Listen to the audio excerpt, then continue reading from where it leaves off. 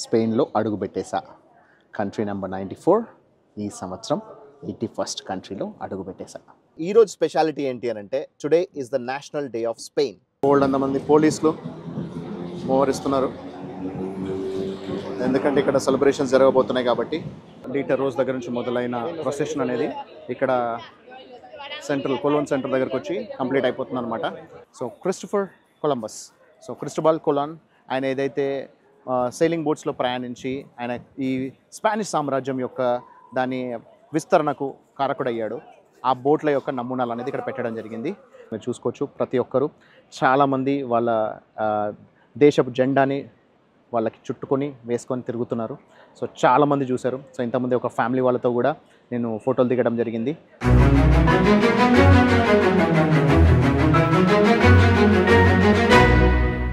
Hi friends నేను మీ RK. మన ప్రపంచానికి స్వాగతం.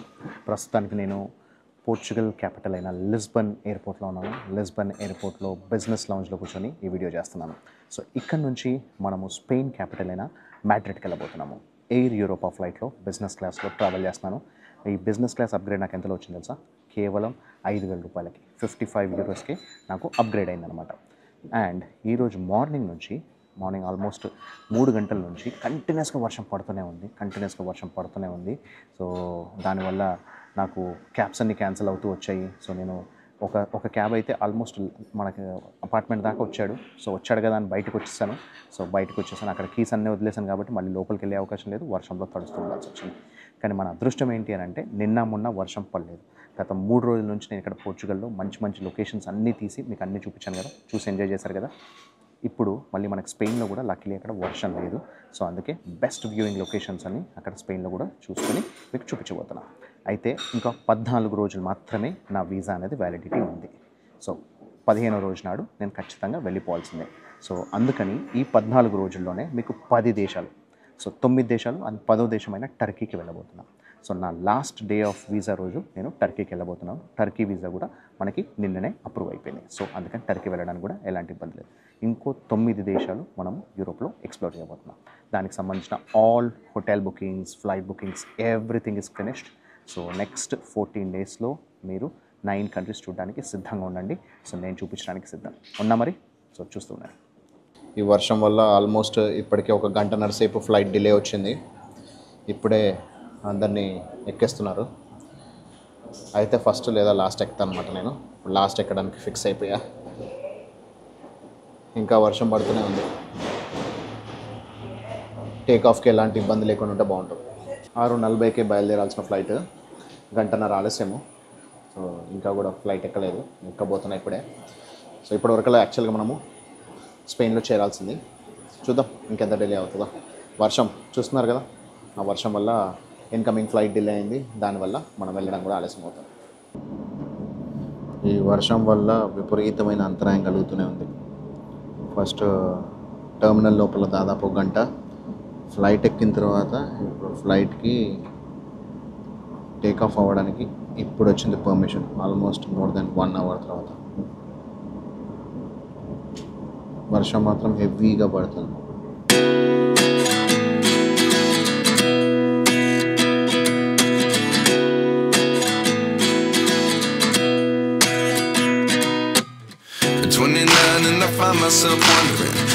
uh, what did happen to the last 10. I ran away with my life, fast forward, never turn back again.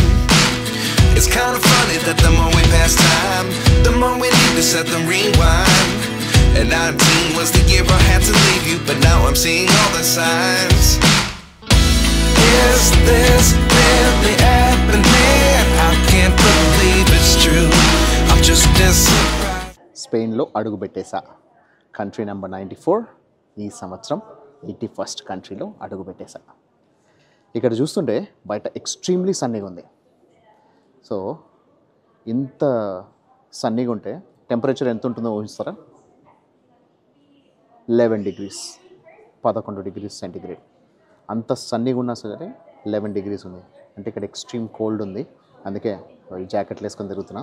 So బయటికి వెళ్ళిన తర్వాత మనకు ఆ సిచ్యువేషన్ ఏంటనే తెలుస్తుంది. ఇప్పుడు ఎయిర్పోర్ట్ లోపలనే ఉన్నా కాబట్టి ఎక్కువ తెలియట్లేదు. ఈ యూరోపియన్ యూనియన్లో ఉన్న కంట్రీస్లో mostly entry and exit gates అన్నీ కూడా మనకు కలిసే ఉంటాయి అన్నమాట సో ఇప్పుడు నేను ఇక్కడ ఎగ్జిట్ అయ్యాను కదా. మిగతా ఎంట్రీ గేట్స్ అన్నీ కూడా ఇక్కడ పక్కకు కనిపిస్తున్నాయి. సో మనము ఏదన్నా వేరే యూరోపియన్ యూనియన్ ఫ్లైట్ ఎక్కదలుచుకుంటే డైరెక్ట్ ఆ గేట్ దగ్గరికి వెళ్ళిపోవచ్చు. లేదంటే ఇప్పుడు బ్యాగేజ్ కౌంటర్ దగ్గరికి వెళ్ళి మన బ్యాగేజ్ కలెక్ట్ చేసుకోవాలి. There is no immigration checks కాబట్టి డైరెక్ట్ బ్యాగేజ్ కలెక్ట్ చేసుకొని వెళ్ళిపోవచ్చు. ఎయిర్పోర్ట్ బయటకు వచ్చేసి ట్యాక్సీ తీసుకున్నా. దాదాపు పదిహేను కిలోమీటర్ల డిస్టెన్స్ ఉంది ఇక్కడ నుంచి హాలిడే ఇన్ కానీ కేవలం పదిహేను నిమిషాలు వెళ్ళిపోతున్నాం. సో ట్రాఫిక్ ఏం లేదు. రోడ్స్ ఎలా ఉన్నాయనేది చూద్దరు కానీ దాని తర్వాత మనం అక్కడ హాలిడే ఇన్లో చెక్ ఇన్ చేసేద్దాం. ఈ ఎయిర్పోర్ట్ రోడ్ అంతా చాలా ఖాళీగా ఉంది. పదిహేను కిలోమీటర్ల డిస్టెన్స్ని కేవలం పదిహేను నిమిషాల్లో కవర్ చేస్తున్నారంటేనే అర్థమైపోయింది. ఎలాంటి ట్రాఫిక్ జామ్స్ లేవని. ఇక్కడికి వచ్చేసరికి మనకి పోర్చుగల్ కంటే ఒక one hour time zone difference అనమాట సో అందుకని ఇంకో వన్ అవర్ అహెడ్కి వెళ్ళాము. ఇక్కడ టైం ప్రకారం నైన్ థర్టీకి ల్యాండ్ అవ్వాల్సింది. ఇక్కడ టైం ప్రకారం లెవెన్ ఫార్టీ ఫైవ్కి ల్యాండ్ అయ్యాము దాదాపు రెండు గంటల పదిహేను నిమిషాలు డిలే. కానీ ఏం చేయలేం. వాతావరణం బాగాలేనప్పుడు ఫ్లైట్ డిలేస్ అనేది కామన్.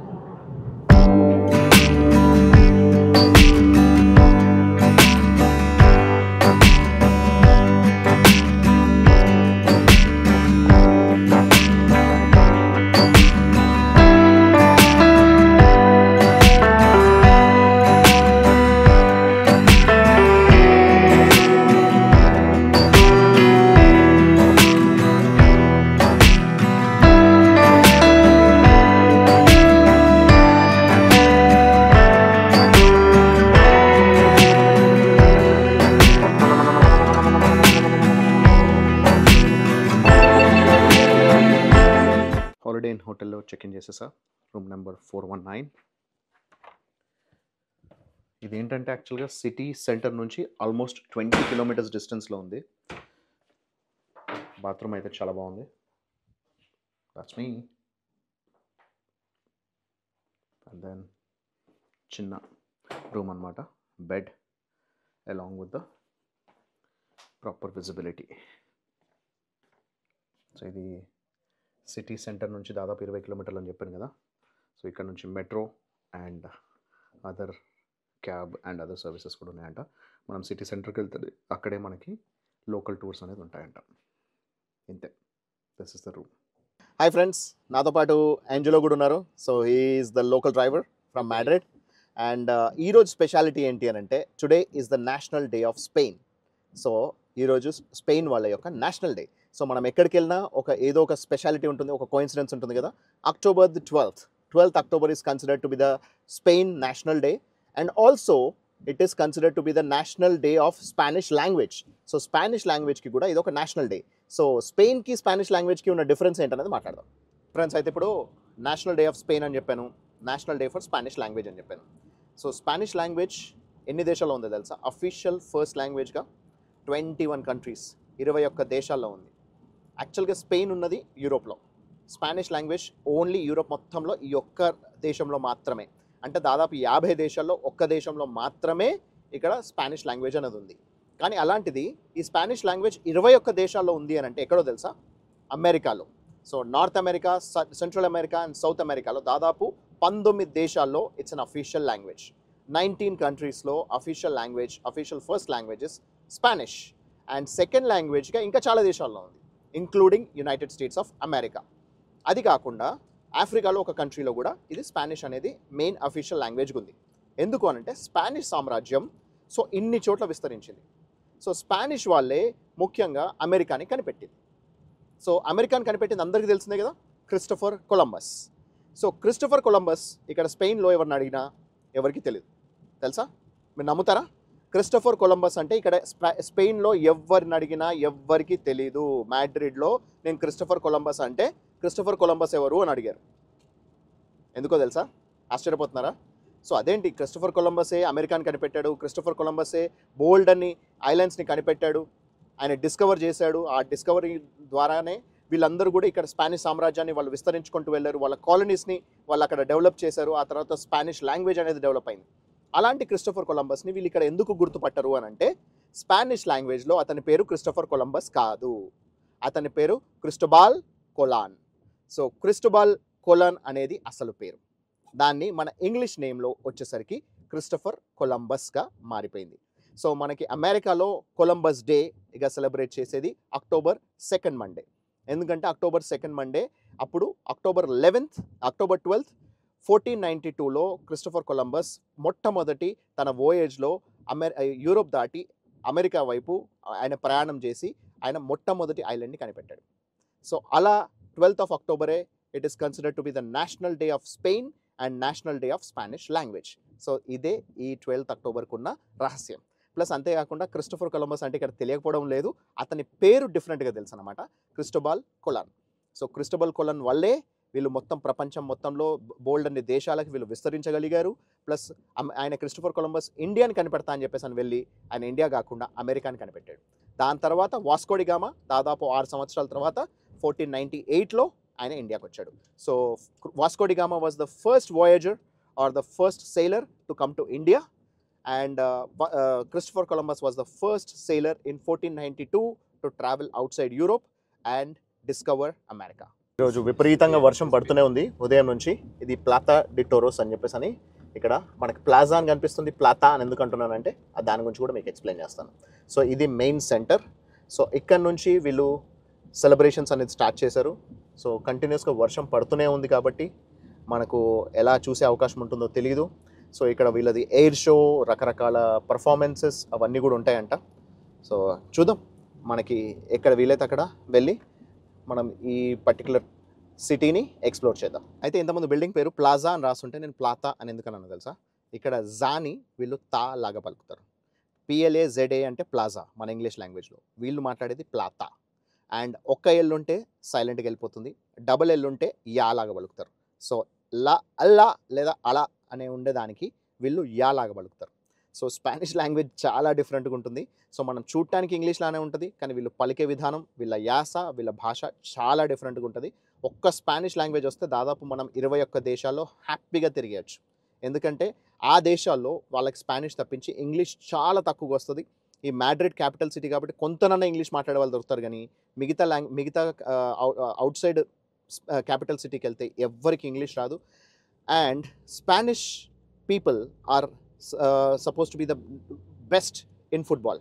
ఇండియాలో క్రికెట్ అంటే ఎంత పిచ్చో ఇక్కడ ఈ యూరోప్లో అవుట్ సైడ్ ఇండియా మ్యాక్సిమం చాలామందికి ఫుట్బాల్ అంటే పిచ్చి. ఆ ఫుట్బాల్లో కూడా స్పానిష్ వాళ్ళు they are the number one. So ప్రతిసారి అయితే రియల్ మ్యాడ్రిడ్ లేదా బార్సిలోనా? ఈ రెండు క్లబ్స్ కూడా స్పెయిన్కి సంబంధించినవే. So these are the clubs which have won the maximum number of champions champions league tournament so champions league tournament అనేది మ్యాక్సిమం అంటే uh, ఫ- అది మన యూరోపియన్ లీగ్ అండ్ యూకే వాళ్ళది అన్ని కలిపి క్లబ్స్ అన్ని కలిపి చేస్తారనమాట సో మల్టిపుల్ క్లబ్స్ కలిపి చేసే టోర్నమెంట్లో ఛాంపియన్స్ లీగ్లో స్పెయిన్ నుంచి ఈ రియల్ మ్యాడ్రిడ్ అండ్ బార్సిలోనా ఈ రెండు కూడా ఛాంపియన్స్ టీమ్స్ అనమాట ఇవి కాకుండా మనకి uh, యూకేలోనేమో మాంచెస్టర్ అని అండ్ లివర్పూల్ అని అలా మల్టిపుల్ క్లబ్స్ ఉన్నాయి. సో ఇలా ఈ స్పానిష్ వాళ్ళకి ఫుట్బాల్ అంటే పిచ్చి and they are the number one team in the entire tournament ఇది కొలోన్ సెంటర్ అంటారనమాట సో కొలోన్ అంటే తెలిసిందే కదా? కొలంబస్నే కొలోన్ అంటారు. సో ఇది కొలోన్ సెంటర్ సో ఇక్కడే మనకి ప్రొసెషన్ అనేది ఎండ్ అవుతుంది. సో ఇంతకుముందు మీకు చూపించిన ప్లాతా దగ్గర స్టార్ట్ అయ్యి ఇక్కడ. ప్లాతా ది పొరోస్ నుంచి కొలోన్ సెంట్రల్ వరకు ఈ ప్రొసెషన్ అనేది ఉంటుంది. ఇక్కడ వీళ్ళ సెలబ్రేషన్స్ అనేది ఉంటాయి. సో ఇక్కడ బోల్డ్ అంతమంది ఇక్కడ రోడ్లపైన ఇక్కడ ఆల్రెడీ నిల్చోవడము పోలీసులు కూడా ఇవన్నీ వీళ్ళందరినీ కూడా గమనిస్తున్నాము. సో మనం ఇప్పుడు అక్కడికి వెళ్ళి సెలబ్రేషన్స్ ఎలా ఉన్నది చూసుకుందాం. బోల్డ్ అంతమంది పోలీసులు మోహరిస్తున్నారు. ఎందుకంటే ఇక్కడ సెలబ్రేషన్స్ జరగబోతున్నాయి కాబట్టి. ఈ సెలబ్రేషన్స్ అన్నీ ఇక్కడ ఎలా ఉంటాయనేది చూసుకుందాం. ఇప్పటిదాకా మార్చ్ ఫాస్ట్ సాగింది. కాకపోతే బోల్డ్ అంతమంది అడ్డుండడంతో అది విజువల్స్ తీయడానికి కుదరలేదు. సో వీళ్ళందరూ కూడా పోలీసులు ఇప్పటిదాకా వీళ్ళు మార్చ్ ఫాస్ట్ అనేది చేశారు. సో ఇక్కడ నుంచి ఈ ప్రొసెషన్ అనేది నెక్స్ట్ దగ్గరికి వెళ్తుంది అనుకుంటా. సో ఎయిర్ షో ఎలా ఉంటుందో అవన్నీ కూడా చూసుకున్నాం ఇది సెంటర్.